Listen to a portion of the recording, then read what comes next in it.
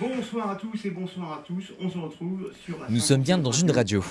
Plus précisément une web radio, créée par Éric Prévost, ancien habitué des radios françaises comme Nostalgie, Europe 2 ou encore Énergie. Dirigeant aussi de Mon Espoir PC, une entreprise d'assistance informatique, il a décidé suite au passage difficile du Covid d'étendre ses activités en rejouant avec son ancienne passion, la radio. Peux-tu expliquer maintenant aux auditeurs comment on fait une sauvegarde? Je m'étais toujours dit, pourquoi pas y revenir un jour? Dans ce domaine-là. Et là, avec l'essor des web radios, euh, tout ce qui s'est un peu démocratisé euh, avec les web radios, ça a rendu le projet faisable. On devait ouvrir déjà l'année dernière au mois de octobre. Bon, pour des raisons euh, techniques, on n'a pas pu ouvrir en octobre. Ça a été repoussé le 8 janvier. Et du 8 janvier, ça a été repoussé aussi après. Et là, on s'est donné le 20 janvier, on s'est dit, écoute, écoute, on démarre.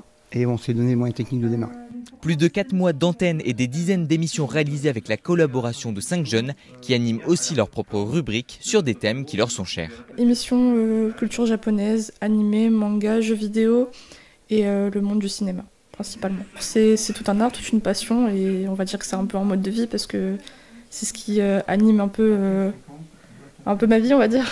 Ça m'a permis d'apprendre plusieurs choses et euh, du moins aussi de, de m'ouvrir quelques portes sur potentiellement ma vie, ma vie actuelle, sur le monde du travail.